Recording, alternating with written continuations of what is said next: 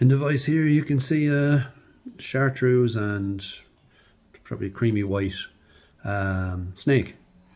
Basically I was asked to show how I tie my snake patterns. Sure I'm not the only one who does this is I have a big preference for a bit of rabbit there straight eyed hooks with a wide gap um, particularly for the back hook which is the one that you're going to leave on now um, it's hard to see through here but basically my braid that's connecting the two hooks is just tied on with a knot. So it's a very fast way if you have to tie a couple of snakes. Um, you're not bringing thread down and gluing it and back up and worry about it pulling out. As long as you can tie a good knot and secures and you could also put a drop of glue or UV resin on it um, I use UV knot sense then that shouldn't go anywhere. I'll just show you how to tie one of these. Take a size 8 or 10 blob hook it's up to you really. Um, what what are, depends what size snake you're tying. Um, I'm going to use uh, some white thread. Catch it behind the eye here. Run it down. Trim that off. Take a piece of mink. It's got a natural taper it. it's going to cut another little bit of taper into it at, at the end here. And we're going to separate this about the length of the tail which you can see. Tying it in fairly short but we're going to separate it in here. Catch it in. Just try and keep it on top. Do three or four good strong turns. Drop it back. For the body of this I'm going to use some some shiner um, so sort of an angel hair colour in chartreuse. I'm just going to dub it on.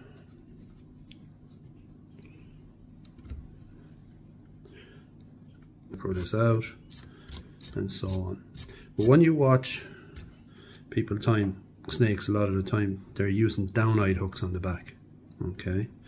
Um, what I would suggest I'm not saying you have to do it this way at all. Is use a straight-eyed hook and that's why I'm using this this blob hook okay? Because it's a straight-eyed hook and it's a wide gap. Okay so I'm going to finish off the back hook. So bring your mink strip, strip forward. Just wet your fingers. Okay pull it out. Trap in your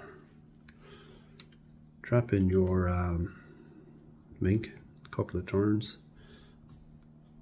Pull it back turns onto the hook shank. I was going to throw a hitch in just to make my life a small bit easier. Get your whip finish tool just a bit more thread couple of three or four turns of finish. Okay that's your back hook done. Now I haven't attached any of my braid. You can use braid mono. I like to use a a braided backing not the hollow fly line braided backing just the normal stuff. So what I'm going to do here then is I'm going to get a, a threader I'm going to push my fly line braided backing through it. I'm going to pull the threader down. That's going to pull through my um, backing. Okay very simple. If you don't have a threader you could use a piece of wire.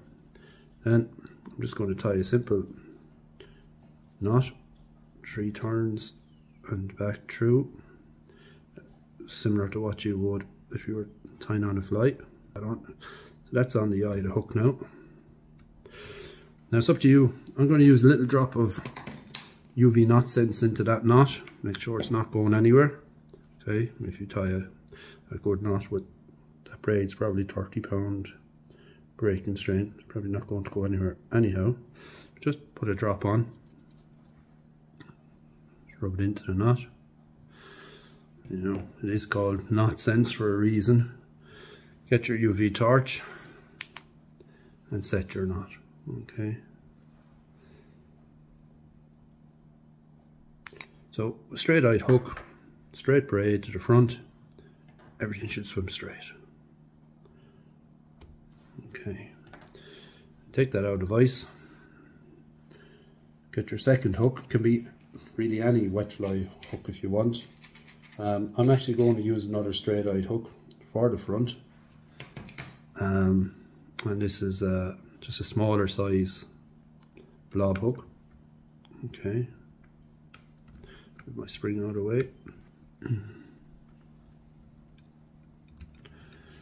So it makes tying snakes a little bit quicker when you're just tying the back hook on by tying the knot onto the eye of the hook and not doing all sorts of stuff. And measure it up. Catching your this will just make it a bit easier to put it through. Measure it up. Put that forward. Get your threader. Just for a second. So put your braided back and through. This is a slightly smaller hook so right, put it through with your threader eventually it was true. So and then bind it down underneath. I'm going to trim it to there. Make life easy.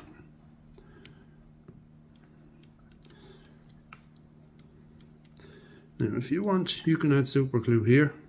There's no real need. It's not going anywhere trust me. But if you really want to you can add super glue to that. Okay. Next we're going to add some of the same flash. Just going to pull off like a, sort of uh, a, like a hank of it. Like so. That's just to cover up the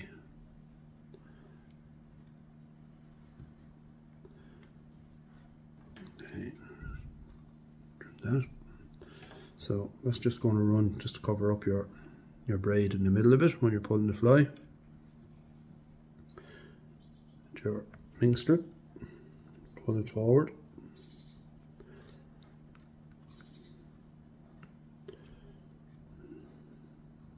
Again, just wet it to separate it, catch it in.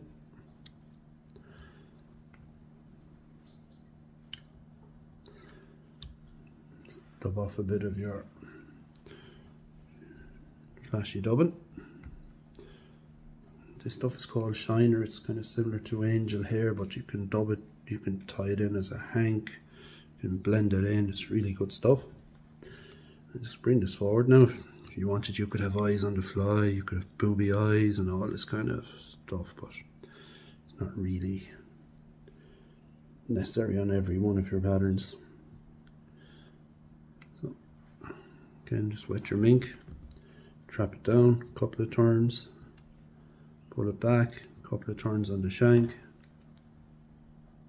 your scissors in. Just try and be careful with that part. And just build up your head.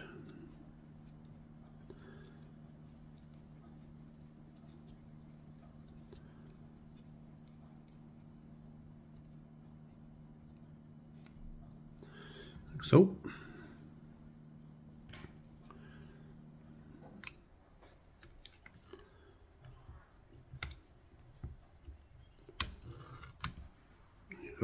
You can add a bit of uh, you can add a bit of whatever dubbing or you can use whatever lacquer or resin or whatever you want on that.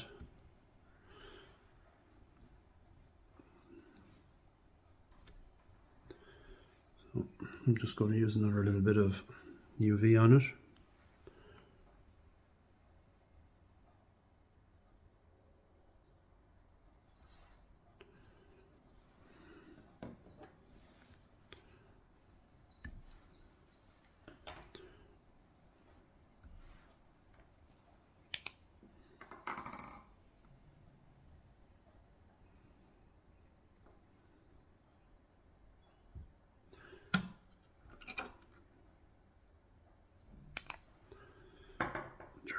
Velcro brush. Just get everything, uh, tease out if you want. Like so. And there's your finished, there's your finished snake.